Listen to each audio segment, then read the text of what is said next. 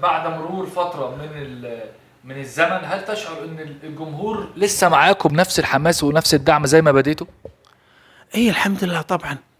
يعني آه، أنت مثل أنت مساعد سألت إن شنو نتاج العربي؟ لما أنا أكون ثاني كأس سمو ولي العهد بالموسم اللي فات وأول كأس الأمير.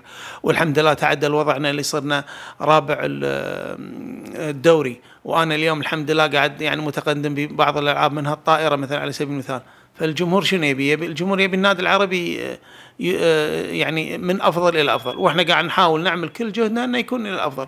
يعني أنا ما أعتقد إن الجمهور ضد النادي اليوم.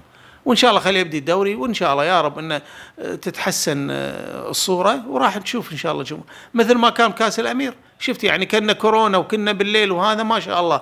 الجمهور إيش كثرة وإن شاء الله إلى الأفضل. أنتوا كمجلس إدارة تقييمكم لنفسكم إيه أو راضيين عن نفسكم بنسبة كام؟ لا الحمد لله مو أنا اقيم نفسي أنا أنا النتائج هي اللي تقيمنا. أنا بالنسبة لي أنا يعني أنا راضي عن نفسي راضي الحمد لله. كل يوم قاعد اتواجد من النادي وقاعد أمشي أمور النادي بما يعني ال- اللي الشغل المطلوب مني اللي هو الشغل الإداري، الإخوان بالمالية موجودين، رئيس النادي موجود، مدير الكرة موجود، أخونا علي آتش موجود والأغلبية كلهم موجودين. بس نتفق إن الجمهور لا يهمه كل ده.